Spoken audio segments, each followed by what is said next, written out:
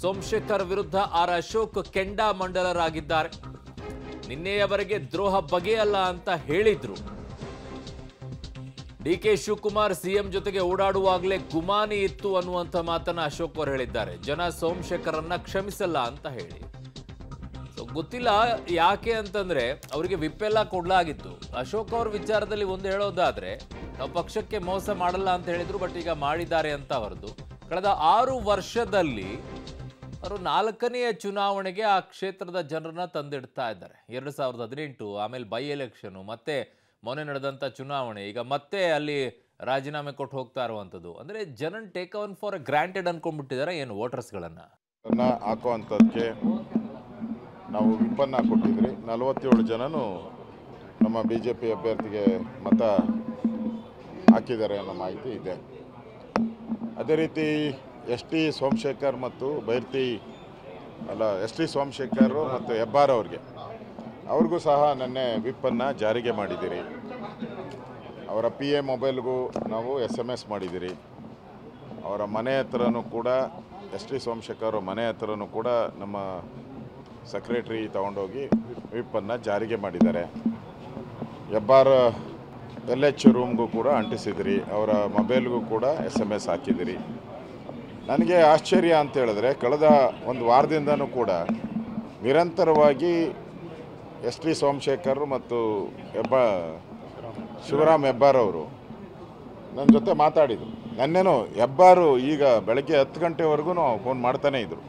ಟಚಲ್ಲಿದ್ದರು ನಾವು ಮಾತಾಡಿದಾಗ ಫೋನ್ ಮಾಡೋರು ಇಲ್ಲ ಬರ್ತೀರಿ ಪಾರ್ಟಿಗೆ ದ್ರೋಹ ಬಗ್ಗೆ ಅಲ್ಲ ತಾಯಿಗೆ ದ್ರೋಹ ಬಗ್ದಂಗೆ ನಾವು ಮೋಸ ಮಾಡಲ್ಲ ಆ ಥರದ ವ್ಯಕ್ತಿಗಳಲ್ಲ ನಾವು ಅಂತ ಎಲ್ಲ ಹೇಳಿದರು. ಮೊನ್ನೆನೂ ಸೋಮಶೇಖರ್ ಮಾತಾಡಿದಾಗ ಕೂಡ ಹೇಳಿದರು ನಾವು ಯಾವುದೇ ಕಾರಣಕ್ಕೂ ಮೋಸ ಮಾಡಲ್ಲ. ನನ್ನ ಸಹೋದ್ಯೋಗಿ ಪೊಲಿಟಿಕಲ್ ಬ್ಯೂರೋ ಹೆಡ್ ಆಗಿರುವಂಥ ರವೀಶ್ ನನ್ನ ಸಂಪರ್ಕಕ್ಕೆ ಸಿಗ್ತಾ ಇದ್ದಾರೆ. ರವೀಶ್ ಈಗ ರಾಜೀನಾಮೆಯ ಸ್ಟ್ಯಾಂಡ್ ಯಾಕೆ? ಒಂದು ಅನರ್ಹಗೊಳ್ಳೋಕ್ಕಿಂತ ಮುಂಚಿತವಾಗಿಯೇ ನಾವು ರಾಜೀನಾಮೆ ಕೊಡೋದೇ ಸೂಕ್ತ ಅಂತಾನ ಅಥವಾ ಲೋಕಸಭೆಯ ಅಖಾಡಕ್ಕಿಳಿಯೋ ಸಿದ್ಧತೆನ ಇದು? ಅಥವಾ ಮಕ್ಕಳನ್ನ ಎಸ್ ಟಿ ಸೋಮಶೇಖರ್ ವಿಚಾರದಲ್ಲಿ ಕೇಳ್ತಾ ಇರೋದು ಮಗನನ್ನ ರಾಜಕೀಯ ತರಬೇಕು, ಇವರು ಲೋಕಸಭೆಗೆ ಹೋಗಬೇಕು ಅಂತೇಳಿ ಇವೆಲ್ಲ ಲೆಕ್ಕಾಚಾರ ಇಟ್ಕೊಂಡೇ ಒಂದು ಹೆಜ್ಜೆ ಇಟ್ಟಂಗಿದೆ ಅಲ್ವಾ ಇಬ್ರು? ಪ್ರಮುಖವಾಗಿರ್ತಕ್ಕಂಥದ್ದು ಒಂದು ವೇದಿಕೆ ಬೇಕಾಗಿತ್ತು. ಅಂದರೆ ಅವರು ಇಷ್ಟು ದಿನಗಳ ಕಾಲ ಏನು ಬಿ ಜೆ ಪಿಯಿಂದ ಒಂದು ಕಾಲನ ಹೊರಗಡೆ ಇಟ್ಟಿದ್ರು. ಎರಡು ಕಾಲ ನಾವು ಹೊರಗಡೆ ಇಡ್ತಾ ಇದ್ದೀವಿ ಅನ್ನೋ ಸಂದೇಶವನ್ನು ರವಾನೆ ಮಾಡೋದಕ್ಕೆ ಒಂದು ವೇದಿಕೆ ಬೇಕಾಗಿತ್ತು. ಹಾಗಾಗಿ ನಾಲ್ಕೈದು ತಿಂಗಳ ಬಳಿಕ ಒಂದು ವೇದಿಕೆ ಅವರಿಬ್ಬರಿಗೂ ಸಿಕ್ಕಿದೆ ಅಂತ ಸ್ಪಷ್ಟವಾಗ್ತಾ ಇದೆ. ಅದರಲ್ಲೂ ಎಸ್ ಟಿ ಸೋಮಶೇಖರ್ ಅವರು ಈಗಾಗಲೇ ಎರಡು ಕಾಲನ ಹೊರಗಡೆ ಇಟ್ಟಿದ್ದೇನೆ ಅನ್ನೋ ಸಂದೇಶವನ್ನು ರವಾನೆ ಮಾಡೋದಾಗಿದೆ ಮತ್ತು ಕ್ರಾಸ್ ಓಟ್ ಕೂಡ ಮಾಡಿ ಒಂದು ರೀತಿಯಲ್ಲಿ ಚಾಲೆಂಜ್ ಮಾಡಿದ್ದಾರೆ. ಹಾಗಾಗಿ ಲೋಕಸಭಾ ಚುನಾವಣೆಯ ಭವಿಷ್ಯದ ದೃಷ್ಟಿಯಿಂದಾಗಿಯೇ ಈ ರೀತಿಯ ನಿರ್ಧಾರಗಳನ್ನು ತೆಗೆದುಕೊಂಡಿದ್ದಾರೆ ಅನ್ನೋದು ಕೂಡ ಸ್ಪಷ್ಟ.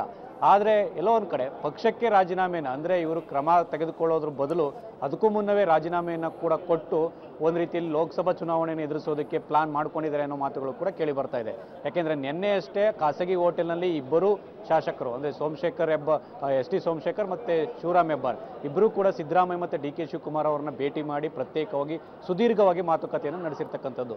ಈ ಮಾತುಕತೆಯ ಸಂದರ್ಭದಲ್ಲಿ ನಾವು ರಾಜ್ಯಸಭಾ ಚುನಾವಣೆ ಕೌಂಟಿಂಗ್ ಮುಗಿದ ಬಳಿಕ ನಾವು ರಾಜೀನಾಮೆಯನ್ನು ಕೂಡ ಕೊಡ್ತೇವೆ. ಹಾಗಾಗಿ ಲೋಕಸಭೆ ಚುನಾವಣೆಗೆ ನಾವು ಸ್ಪರ್ಧೆ ಮಾಡ್ತೇವೆ ಅನ್ನೋದು ಕೂಡ ಹೇಳಿದ್ದಾರೆ. ಹಾಗೆ ಕಾಂಗ್ರೆಸ್ನ ನಾಯಕರು ಕೆಲವರು ವೆಯ್ಟ್ ಮಾಡೋಕ್ಕೆ ಹೇಳಿದರೆ ಇನ್ನು ಕೆಲವರು ಆಗಲಿ ಅನ್ನೋ ಮಾತುಗಳನ್ನು ಕೂಡ ಹೇಳಿರ್ತಕ್ಕಂಥದ್ದು.